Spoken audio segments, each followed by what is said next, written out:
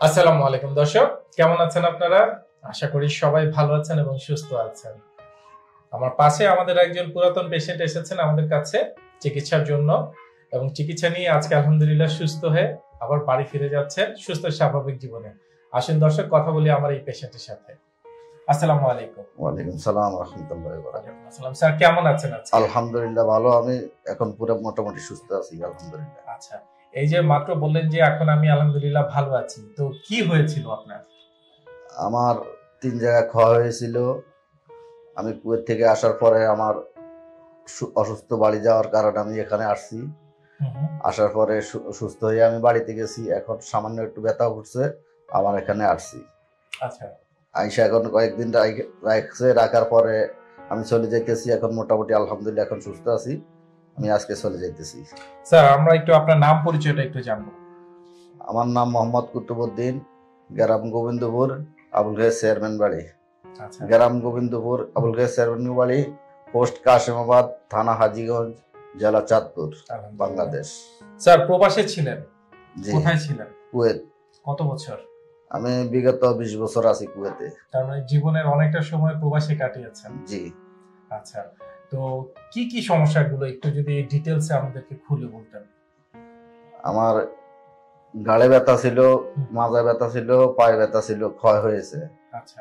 কোন দুর্ঘটনার পর থেকে এটা জানতে পারেন নাকি হঠাৎ করে এটা বুঝতে পারেন? হঠাৎ আজকে বিগত পাঁচ বছর হয়েছে আমি এই ব্যথাটা ভুগতেছি। আচ্ছা। আমি বিগত দুই বছর আগে কুমিল্লা চিকিৎসা নিয়েছি। চিকিৎসা হওয়ার পরে আমার মোটামুটি সুস্থ হয়েছি এখন আবার ব্যথা বাড়ছে। আমি ইউটিউব থেকে সফিউল্লাহ প্রধান স্যারের ইয়া বাইর করে তারপর এখানে আসছি। আসার পরে আলহামদুলিল্লাহ মোটামুটি রোগীও আসতেছে দেখতেছি। এখন মোটামুটি সুস্থ হয়েছি সুস্থ হওয়ার কারণে রোগী এখানে আসতেছে। আচ্ছা। তো আপনি যখন ট্রিটমেন্টে ছিলেন তার মানে তখন আপনি আরও অনেক রোগীকে দেখেছেন এখানে ট্রিটমেন্টের জন্য আসতে। তো কেমন দেখেন তাদেরকে সুস্থ হতে? আলহামদুলিল্লাহ মোটামুটি সুস্থ ভালো হইতেছে দেখতেছি। ওনারা মোটামুটি ভালো সুযোগ সুবিধা দিচ্ছে। রোগীদের প্রতি এবং যারা হাঁটতে পারে না হাত বাঁকা হয়ে থাকে তারা মোটামুটি এখানে সুস্থ হয়ে গেছে। আমি দেখতেছি চলে যাচ্ছে। মোটামুটি ভালোভাবে ট্রিটমেন্ট হচ্ছে। তো এই যে স্যার দীর্ঘদিন পরে এই যে সুস্থতা কেমন লাগছে আপনার কাছে? আলহামদুলিল্লাহ ভালো আছি শরীরটাকে অনেক ঝরঝরে এবং ফ্রেশ লাগছে। হ্যাঁ। এবং কাজের প্রতি আবার কনফিডেন্স ফিরে পাচ্ছেন। ইনশাআল্লাহ। তো এখানে স্যার এরকম অসংখ্য মানুষ আছেন যারা দীর্ঘদিন যাবত এই ধরনের সমস্যায় ভুগেন অনেকে হয়তো জানেন না।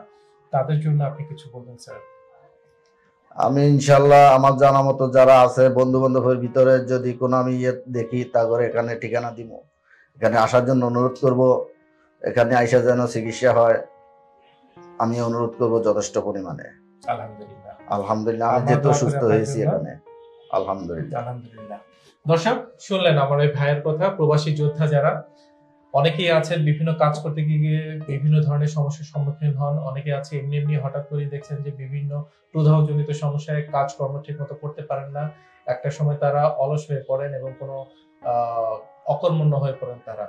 তো তাদের জন্য বলছি, যখনই সমস্যা, অন্তত একজন ভালো বিশেষজ্ঞের পরামর্শ নিন। কি করতে হবে আগে সেটা জানুন, সে অনুযায়ী চিকিৎসা নিন এবং সুস্থ স্বাভাবিক জীবনে ফিরে আসুন।